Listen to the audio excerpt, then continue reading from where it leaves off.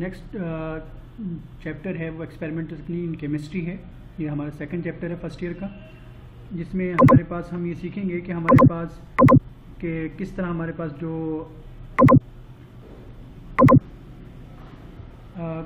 Chemistry के अंदर techniques different experiment के लिए यूज़ होती हैं। एनालिटिकल केमिस्ट्री होती क्या एक्चुअली हमारे पास जिसमें हम किसी भी सब्सटेंस की करेक्टराइजेशन करते हैं मतलब हम उसकी प्रॉपर्टीज़ वगैरह को एनालिसिस करते हैं, उसे हम क्या कहेंगे? करेक्टराइजेशन के अंदर हम काउंट कर रहे होते हैं। उसकी, उसमें कौन कौन सी हो सकती हैं? क्वालिटी हो सकती है और एनालिसिस क्वांटिटी एनालिसिस होता है हम मतलब वो देखते हैं कि वो सब्सटेंस है कौन सा और उसकी कितनी मकदार है। तो सबसे पहले हमारे पास कि इसमें डिफरेंस पूछा जाता है quality analysis and quantity analysis मतलब जो हमारे पास आइडेंटिफिकेशन करता है उसे क्वालिटी एनालिसिस कहते हैं और जो अमाउंट को बताता है कंसनट्रेशन को बताता है उसे हम क्वांटिटी एनालिसिस कहते हैं। नेक्स्ट हमारे पास जो एनालिटिक तकनीक में सबसे पहले हमारे पास जो है वो है फिल्ट्रेशन फिल्ट्रेशन क्या करती है कि हमारे पास जो इनसलूबल पार्टिकल हैं। इनसलूबल पार्टिकल फॉर एग्जांपल यहाँ से हम uh, इसको हमने मिक्सचर लिया सोल्यूशन का जब हम इसको इसके ऊपर डालते हैं तो होता क्या है कि यहाँ पर जो इनसॉल्युबल पार्टिकल जो लिक्विड है, वो नीचे चला जाएगा जो सॉल्युबल पार्टिकल के साथ नीचे चला जाएगा, सिर्फ़ इनसॉल्युबल पार्टिकल जो है वो ऊपर रह जाएँगे। इस तरह हमारे पास नीचे आने वाला फिल्ट्रेट कहलाएगा, ऊपर जो वो होंगे वो रेजिड्यू फिल्ट्रेट कहलाएगा।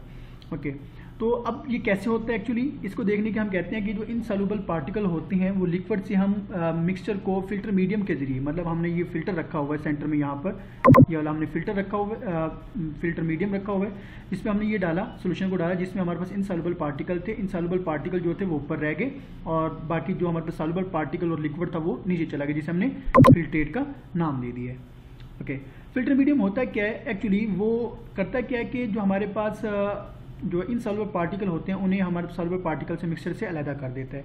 फॉर एग्ज़ाम्पल इसके लिए कौन कौन से हो सकते हैं? फ़िल्टर पेपर हो सकता है पोर्सलेन हो सकता है फ़िल्टर क्रूसिबल हो सकता है। अब हमारे पास फ़िल्टर मीडियम की सिलेक्शन पे डिपेंड करता है कि हमारे पास जो इंसॉल्बल पार्टिकल हैं, उनका साइज़ क्या है। अब वो साइज़ बहुत छोटा है तो हम फ़िल्टर के जो पेपर का जो पोर साइज़ है, वो बड़ा ना हो। तो इस तरह तो वो वो भी नीचे आ जाएँगे। इसलिए हम उसका साइज़ इसी हिसाब से रखते हैं कि वो जो इंसॉल्बल पार्टिकल है, वो नीचे ना जाए, सिर्फ़ और सिर्फ़ हमारे जो सॉल्बल जो लिक्विड है, वो ही नीचे जाए। साइज़ ऑफ़ प्रेसिपिटेट मतलब जो हमारे पास इंसल्बल पार्टिकल है, उनका साइज़ क्या है? Okay okay. अब हमारे पास फ़िल्टर प्रोसेस प्रोसेस के हमारे पास जो हमने प्रोसीजर देखना है, वो फिल्ट्रेशन हम देखना है फ़िल्टर पेपर के ज़रिए। क्या हमने क्या किया? यहाँ पे हमने एक फ़नल ली। फ़नल के अंदर हमने एक जो है, वो क्या कर दिया? यहाँ पर हमने एक फ़िल्टर पेपर रखा। फ़िल्टर पेपर के अंदर हमने एक मिक्सर का सोल्यूशन रखा, जिसमें हम जैसे इसमें करेंगे तो वो होगा क्या कि यहाँ पर जो इनसॉल्युबल पार्टिकल है, इस अपर साइड पर, वो यहाँ पर रह जाएँगे और जो लिक्विड पार्टिकल है, जो सॉल्युबल पार्टिकल उसमें मिक्स है वो यहाँ पर नीचे आ जाएँगे जिसे हम किसका नाम देते हैं? फिल्ट्रेट का। और बाकी हमारे पास फ़िल्टर पेपर के ऊपर जो इनसॉल्युबल पार्टिकल प्रेसिपिटेट यहाँ पर रह जाएँगे। ठीक है? इस तरह हम उसको अलहदा कर लेते हैं। ये हमारे पास फिल्ट्रेशन प्रोसेस है। ओके अब फिल्ट्रेशन फ़िल्टर पेपर के ज़रिए हमारे पास इसको फ़िल्टर पेपर को अब इसमें फोल्ड किस तरह करना है? स्मूथ फिल्ट्रेशन का मतलब क्या है? यहाँ पर हमने इसको एक ये जो हमारे पास है कि इसको जो फ़िल्टर पेपर उसको एक मुसलसल लगाना चाहिए और कंटिन्यूसली डालना चाहिए कि ताकि वो मुसलसल उसकी जो ये फनल की जो टिप है, ये फिल रहे। इसे हम स्मूथ जो है फिल्ट्रेशन कहेंगे। फोल्डिंग ऑफ़ फ़िल्टर पेपर हमने आगे देखेंगे। हमारे पास क्या क्या है? हमारा फोल्डिंग ऑफ़ फ़िल्टर पेपर, जब हमने फ़िल्टर पेपर उसमें लगाना है तो फनल के अंदर वो हम किस तरह लगाएँगे? सबसे पहले देखिए हम सर्कल को हाफ़ करेंगे। पहले पॉइंट के अंदर है ए के अंदर है, वो सर्कल को हाफ़ करेंगे डायमीटर में। डायमीटर के बाद हम उसे फिर उधर फर्दर उसे हाफ़ करेंगे, जिस तरह इस शेप में, जहाँ से वो सर्कल उसने दिखा रखा है। डॉट लाइन दिखा रखी है उसको इस तरह।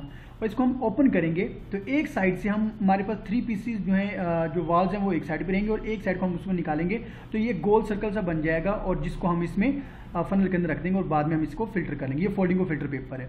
ओके नेक्स्ट हमारे पास जो है, हमारे पास फ्लूटेड फ़िल्टर पेपर करते हैं, जिसकी वजह से रेट ऑफ़ फिल्ट्रेशन को हम ज़्यादा कर देते हैं ताकि एरिया ज़्यादा हो जाए। इसलिए हम डायमीटर करते हैं, फिर हम इसको फर्दर डायमीटर करते हैं, फिर इसको मजीद वो ये एरोज जो है वो इस चीज़ को शो कर रहे हैं कि किस तरह हम इसको फोल्डिंग करते जाना है। और फोल्डिंग करने के बाद जब हम इसको ओपन करेंगे तो एक जो जो निशान होगा उसको अंदर करेंगे, एक को बाहर करेंगे, एक को अंदर करेंगे, एक बाहर को, इस तरह की हमारे पास शेप बन जाएगी।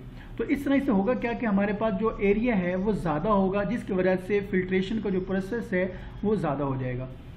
ओके अब हमारे पास जेंटल सेक्शन होती है कि जब हमारे पास हम इसमें डालते हैं तो यहाँ पर अगर हम आम उस पर करवाएँगे तो वो आम प्रेशर के ज़रिए नीचे आएगा।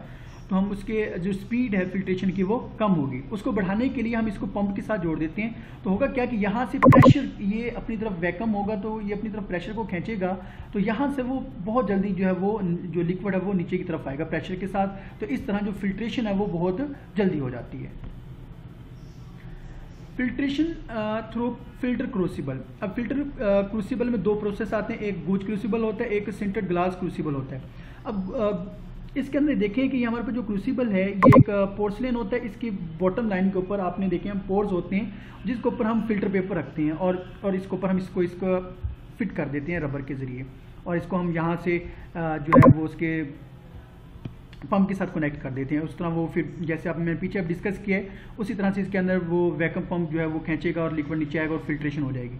लेकिन ये हमारे पास मैट है एस्पेस्टास मैट इसे हम कहेंगे, इसे हम एस्पेस्टास मैट कहते हैं। और ये कब यूज़ करते हैं? हम इसके ये जो पोर पोर्सलेन जो इसमें पोर्स बने हुए हैं, इसके ऊपर हम रखते हैं, क्यों? इस फ़िल्टर पेपर की जगह पे। क्यों? क्योंकि जो फ़िल्टर पेपर है, वो जो है, वो रिएक्ट कर जाता है जैसा कि एम फोर या हम एच हम कंसनट्रेटेड लेते हैं तो उसके साथ वो रिएक्शन कर जाता है तो इसलिए हम उसको अवॉइड करने के लिए प्रिवेंट करने के लिए हम इसको यहाँ पर रख देते हैं।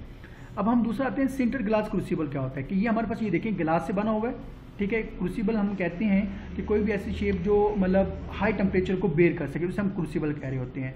मतलब ओके अब ग्लास क्रूसिबल क्या होता है? इसमें एक्चुअली ये ग्लास का बना हुआ है ओके अब ये हमारे पास होता है जो इसके अंदर हमने यहाँ पर, इस पॉइंट के ऊपर हमने एक सेंटेड ग्लास डिस्क रखी होती जो कि यहाँ पर ये नज़र आ रही है आप लोगों को।